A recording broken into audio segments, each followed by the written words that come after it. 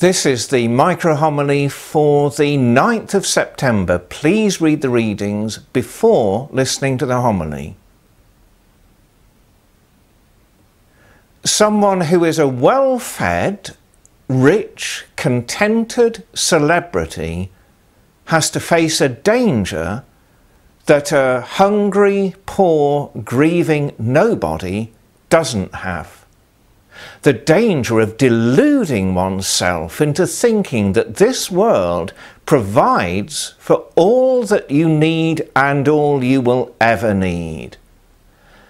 The disciples Jesus speaks to, who are in the poor, hungry, grieving nobody group, he calls blessed because they won't be taken in by that delusion. They'll continue to strive, not for earthly gratifications, but for eternal joys.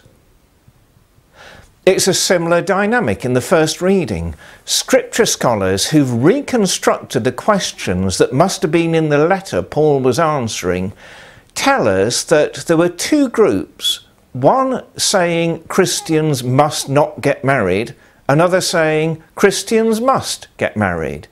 And they wanted Paul to give a ruling from God which of them was right. Well, he wouldn't do it, but instead he gives his own reflections.